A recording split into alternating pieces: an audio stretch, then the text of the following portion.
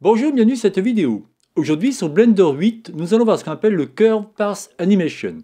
Donc là je vous montre un petit drone, on va s'amuser à le faire, euh, alors pas s'animer mais vous verrez c'est juste quelque chose de très simple qui va vous permettre de montrer la dernière option qu'on n'aura pas vue au niveau des curves. Donc sans plus attendre, regardons cela ensemble.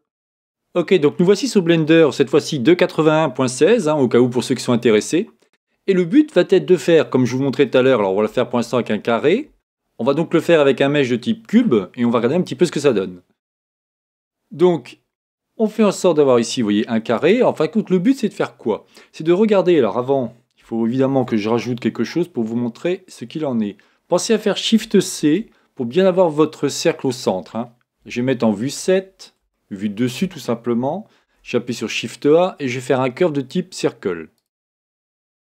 Là, je vais faire en sorte d'agrandir celui-ci. Voilà, comme ça.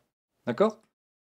N'oubliez pas une chose, si on reprend au niveau du circle, alors il y a quelques petits trucs que j'ai oublié de vous dire la dernière fois, mais euh, je pense que je ferai une vidéo plus complète pour vous montrer toutes les options que l'on a justement quand on est en mode circle, c'est-à-dire ici, il y a plein de choses très intéressantes et je vais essayer de bien tout vous expliquer pour que vous ayez, comme je dis, une très bonne connaissance sur les curves. Je trouve ça vraiment intéressant, en tout cas en ce qui concerne la modélisation. Bon, revenons maintenant à ce qui nous intéresse. Ce qui vous intéresse, en fin de compte, c'est ici, vous voyez, c'est marqué Pass Animation. Donc si par hasard vous le décochez, bon, bah, il ne se passe plus rien. Ici, on va pouvoir compte gérer le nombre de frames et ici, vous aurez le temps d'évaluation. Avec ici, follow ou pas. Pour l'instant, je vais juste vous montrer, en fin de compte, comment faire en sorte de tourner mon objet pour faire ce qu'on appelle un turntable. Bah, c'est très simple. Il va suffire de cliquer sur mon mesh, puis mon cercle. Ensuite, vous cliquez sur CTRL B, enfin vous tapez sur les touches CTRL B et vous sélectionnez Follow Path qui veut dire tout simplement suivre le chemin. Juste ça. Et vous allez voir qu'en appuyant juste sur le bouton de lecture de la timeline, vous aurez quelque chose d'intéressant en ce style-là. Celui-ci va s'arrêter donc à 100 frames, malgré qu'ici il continue, d'accord? Et là il vous dit temps d'évaluation 152, c'est-à-dire qu'il s'est arrêté en fait compte à 152. Ok? Si je vous montre quelque chose d'un peu plus complexe, voilà, donc on se retrouve dans une nouvelle scène où je me suis amusé en fait compte euh, à dessiner un objet différent. Alors c'est tout simplement, si je vous montre, c'est un petit drone que je me suis amusé à dessiner avec un modifieur de type mirror. Voilà. Donc tout ce que je vous ai expliqué depuis le début sur Blender, vous pouvez le faire, à part peut-être le mirror où je n'ai pas encore expliqué les modificateurs. Mais bon, très rapidement, vous pouvez apprendre ce genre de choses. Bon, le but évidemment, c'est toujours de vous montrer ce qu'il en est. Donc j'ai créé mon objet, il est ce qu'il est.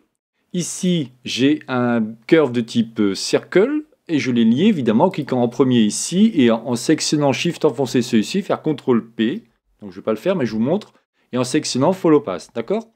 On retrouve bien ici au niveau de passe animation le nombre de frames. Si je relance, vous allez donc, vous voyez, celui-ci tourne. Alors par contre je vais mettre en mode solide pour qu'on puisse voir ce qui se passe.